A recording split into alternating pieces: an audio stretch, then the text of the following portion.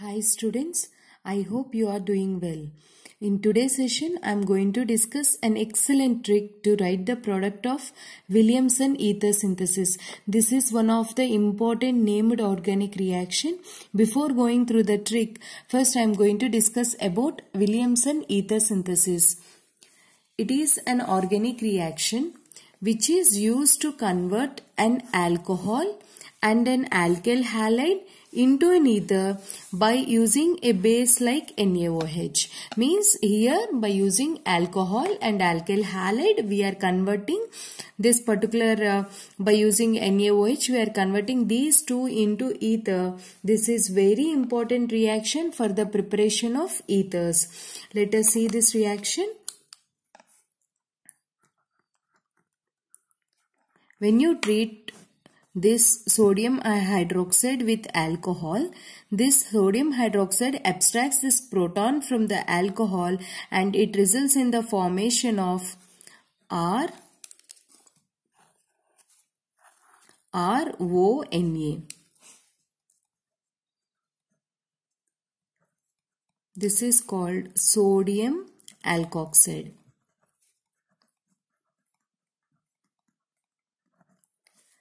This alkoxide is a strong nucleophile. This alkoxide, when you treat with alkyl halide, this alkoxide attacks to this alkyl group and then this halogen goes as a leaving group. Then this Na and this X minus both goes as NaX and we get RO R dash. What is the product? We get the ethers.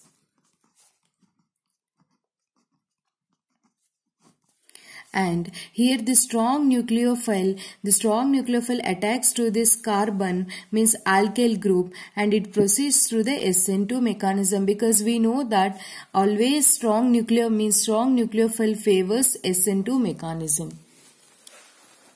And now I am going to discuss the trick. See this trick useful for you? Listen carefully this alkyl halide plays an important role here. Alkyl halide, this R dash group, it should not be tertiary alkyl halide. This alkyl halide should not be tertiary alkyl halide for the preparation of ether. And that alkyl halide should not be aryl halide. Alkyl halide should not be vinyl halide. Alkyl halide should not be bridgehead halides. See here. These are main most uh, important things you should remember while you are solving a question for Williamson ether synthesis.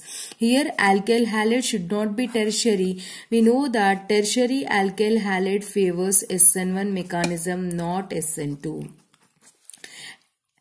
See here, in my previous videos I discussed about resonance. Lone pair and pi bond are in conjugation here and this lone pair involves in resonance. Then we get the structure means here what I want to tell you is this carbon and halogen bond. This carbon halogen bond gets partial double bond character due to resonance it gets partial double bond character. Whenever it gets a partial double bond character, it cannot goes as a good leaving group. If it can't goes as a good leaving group, then SN2 mechanism is not uh, possible.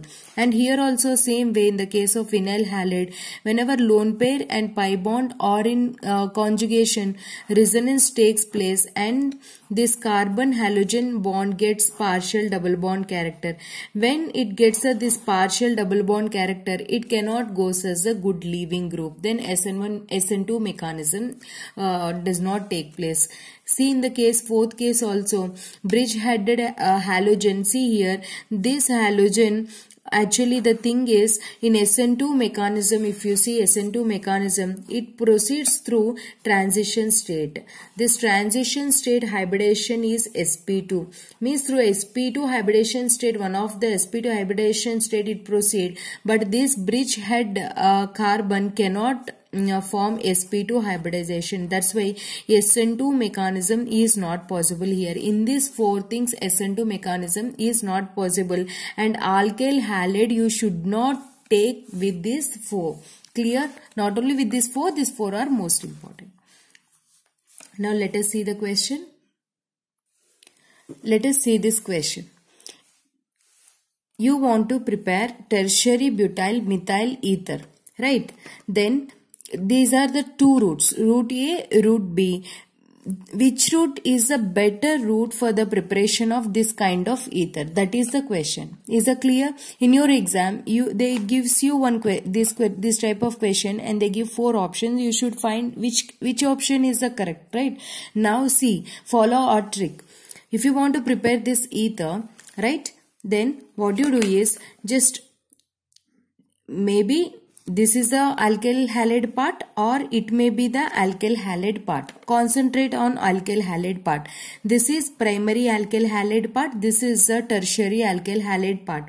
And what we discussed, tertiary alkyl halide never gives SN2 mechanism. So the alkyl halide part is what? Primary alkyl halide part. So in these two, which one is the primary? This one the, means route A is better, gives better, better yield, means better product here route B won't works.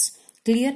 The reason is what students? Here this is a nucleophile which attacks this carbon means this uh, chlorine goes as a leaving group means Cl minus and Na plus both goes as Na, NaCl and here this one it can't attack to this hindered carbon and SN2 mechanism is not possible in this case. See the next question. You want to prepare any anisole that is methoxybenzene you want to prepare. Then these are the two routes. Just try students in this uh, route A and route B which is the correct means better which gives the better yield. Try it. You want to prepare this ether X or this part means this may be alkyl halide part or this may be alkyl halide part right? In these two alkyl halides which one gives a better yield? This is primary alkyl halide gives SN SN2 we know and this one lone pair and pi bond is in resonance. So what happens it gets partial double bond character so that nucleophile attacks and this cannot goes as a leaving group. Then the b route b is not favorable but route a is favorable. See next question. See this. You want to prepare vinyl methyl ether. Then there are two routes route a and route b which which route gives a correct, uh, correct yield means better product. See, this may be alkyl halide part or this may be alkyl halide part. If this is the alkyl halide part then what happens student? This involves in resonance and this carbon halogen bond gets partial double bond character so that the nucleophile attacks here but this halogen cannot go as a good leaving group. Then what is your better yield? B route gives a better yield when compared to A route. That's it. I, I hope you like this uh, trick because so many times you get confusion when you see this uh, Williamson ether synthesis. That's why I made this trick so that you can solve any kind of uh, Williamson ether synthesis questions in a easy way. Let us see one more question. This is the time for test yourself. Try this question and comment me your answer. See, you are telling in every video you are excellent ma'am, you are super, all these things, but you are not posting the correct answer. Try to post the correct answer. Yes, see this one. You want to prepare this bridge ether then which one which route which route gives the better yield a or b try this question and comment me your answer just to see the alkyl halide part the alkyl halide uh, just one time see this summary of this williamson ether synthesis. What is the williamson ether synthesis students? Here alkyl alcohol and alkyl halide in the presence of uh, base NaOH we get the ether as the product right? First whenever you treat the sodium hydroxide with the alcohol it forms a sodium alkoxide. Here alkoxide acts as a strong nucleophile and it attacks the alkyl halide. It results in the formation of ether. Fine. But whenever you are going uh, through the different competitive questions you should keep in mind uh, this thing. Alkyl halide part is very very important part. This alkyl halide part means this alkyl group see here it should not be tertiary alkyl group. It should not be tertiary and it should not be aryl halide part. Means alkyl halide should not be aryl halide. Alkyl halide should not be vinyl halide and it should not be bridgehead carbon. That's it. If you know these things then easily you can score good marks in your competitive exams and all. I hope you like like this video and thanks for watching this video I'm going to do more and more tricks in my coming videos and thank you to all my subscribers.